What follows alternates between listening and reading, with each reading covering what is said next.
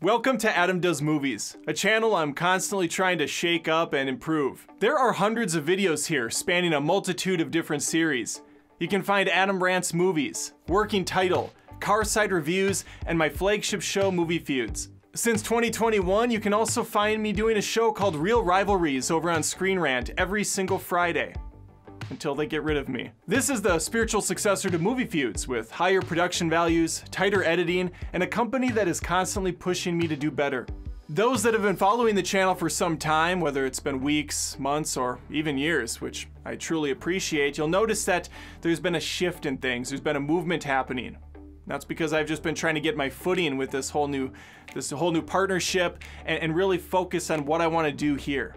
And I have. That's the good news. I'm now dedicated to producing two new videos every single week on this channel, in addition to the episode of Reel Rivalries. Satirical shows such as The Cringe, Bad Movie Auditions, and Movie Boss will be the big push this year, along with Patreon and YouTube memberships. In fact, I plan on posting to those platforms on a weekly basis as well, engaging with the fans that have really stuck by me, or maybe are new and uh, just want to throw a dollar my way. There is a dollar tier.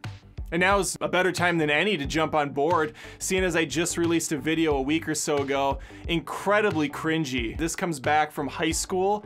Uh, I have frosted tipped hair, I have a puka shell necklace. I, I, mean, the whole thing is just quite a sight to behold, and, and you can see it if you're a member there. All right, that's the pitch. Short and sweet. Didn't want to waste a lot of your time. Just wanted to thank you for, for staying with me or, or joining me. Uh, check me out on Patreon, uh, look around the channel, have some fun, and there will be a new video very shortly. Now, if you excuse me, I have some work to do.